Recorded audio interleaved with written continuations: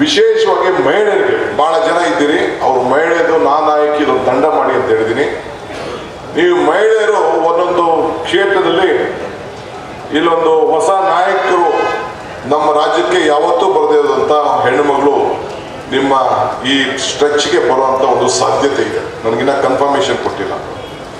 ಆಗ ನಾನು ಹೇಳ್ತಾ ಇದ್ದೀನಿ, ಯಾರು ಗ್ರಾಮ ಪಂಚಾಯತಿಗೆ ನಿಂತವರು ಸೋತವರು, ಜಿಲ್ಲಾ ಪಂಚಾಯತ್ ನಿಂತವರು ಸೋತವರು, ಶ್ರೀಶಕ್ತಿ, ಅಂಗನವಾಡಿಯವರು ಇನ್ನು ಯಾರ್ಯಾರು ಹೆಣ್ಮಕ್ಳು ಇದ್ದಾರೆ, ಮಹಿಳೆಯರು, ಅವ್ರನ್ನೆಲ್ಲ ಒಂದೊಂದು ಅಸೆಂಬ್ಲಿ ಕ್ಷೇತ್ರದಲ್ಲಿ ಇಡೀ ಎಲ್ಲ ಕ್ಷೇತ್ರದಲ್ಲೂ ಸೇರಿ ಕನಿಷ್ಠ ಒಂದೊಂದು ಸಾವಿರ ಜನ ಆದರೂ ಅವತ್ತೊಂದು ದಿನ ಬಂದು ಒಂದು ದೊಡ್ಡ ಹೆಣ್ಮಕ್ಳ ಪ್ರದರ್ಶನವನ್ನು ಮಾಡಬೇಕು ಅಂತ ಹೇಳಿ ನಾನು ಮೊನ್ನೆಲ್ಲ ಮೀಟಿಂಗ್ ಮಾಡಿದ್ದೆ.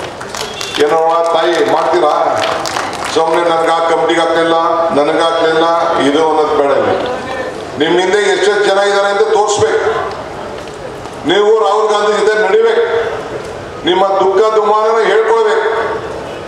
ಆ ಕೆಲಸ ಮಾಡಬೇಕು. ಯಾರೋ ಲೀಡರ್ ಯಾರು ಬರ್ತಾರೆ ಅಂತ ನಾನೀಗ ಪ್ರಕಟಣೆ ಮಾಡಕ್ಕೆ ಕನ್ಫರ್ಮೇಶನ್ ಆಗಲಿ. ಆಮೇಲೆ ನಾನು ಅದ್ರ ಬಗ್ಗೆ ನಾನು ಹೇಳ್ತೀನಿ. ಆದರೆ ನಿಮ್ಮ ಏನು ಈ ಸಂಘಟನೆ ಶಕ್ತಿ ಇದೆಯಲ್ಲ, ಇದು ರಾಷ್ಟ್ರಕ್ಕೆ ಹೋಗ್ತದೆ. ಮೈಸೂರಲ್ಲಿ ಯಾವ ರೀತಿ ಕಾರ್ಯಕ್ರಮ ಆಯಿತು ಅಂತೇಳಿ, ಇದು ಬರೀ ಮೈಸೂರಲ್ಲಿ ಸಿದ್ದರಾಮಯ್ಯನವ್ರಿಗೆ, ಡಿ ಕೆ ಶಿವಕುಮಾರ್ಗೆ ಇಲ್ಲಿರೋ ಎಂ ಎಲ್ ಎಗಳಿಗೆ ಲೀಡ್ಗಳಿಗೆ ಶಕ್ತಿ ಕೊಡ್ತಾ ಇಲ್ಲ ನೀವು. ಇಡೀ ರಾಜ್ಯಕ್ಕೆ ಒಂದು ದೊಡ್ಡ ಸಂದೇಶವನ್ನು ನೀವು ಕಳಿಸ್ತಾ ಇದ್ದೀರಿ. ಇದು ತಾವು ಗಮನದಲ್ಲಿ ಇಟ್ಕೊಳ್ಬೇಕು ಈಗ ನೀವು